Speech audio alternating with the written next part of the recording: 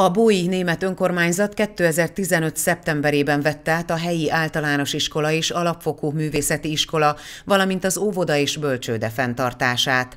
Céljuk a nemzetiségi törvény szerinti elvárásoknak megfelelő működtetés, a magas szintű modern nyelvoktatás és a hagyományok ápolása.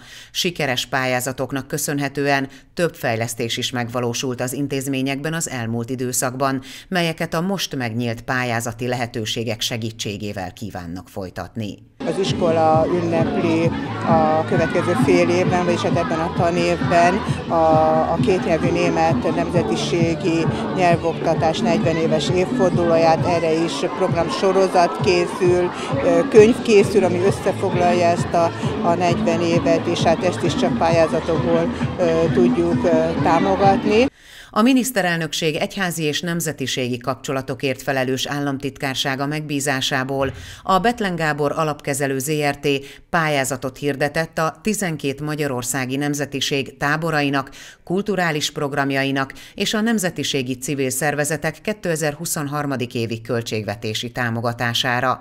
Erről Soltész Miklós államtitkár beszélt a közelmúltban az egyik Tolna megyei német nemzetiségi óvodában. Óriási népszerűséget nép, népszerűséggel bírtak az elmúlt évek során, de mindenképp fontos hozzátenni, hogy két dolog befolyásolhatja. Egyrészt a világgazdasági helyzet, másrészt a háborús veszély, tehát hogyha valami nagyon nagy baj van a világban, akkor nyilván ezek a pályázatok későbbre tolódnak, már mint a, a kifizetésük, de az biztos, hogy egyelőre számolunk ezzel, föl szeretnénk készíteni egyes civil szervezeteket, kulturális szervezeteket, és nagyon bízunk benne, hogy a józanész a világban fölül fog kerekedni. A Bói két tannyelvű iskola idén először rendezett Októberfestet az intézmény udvarán. A hatodikos és a nyolcadik osztályos tanulók német táncokat adtak elő. Volt sváb sós és édes sütemények vására, valamint közösen énekelt németül az iskola közössége.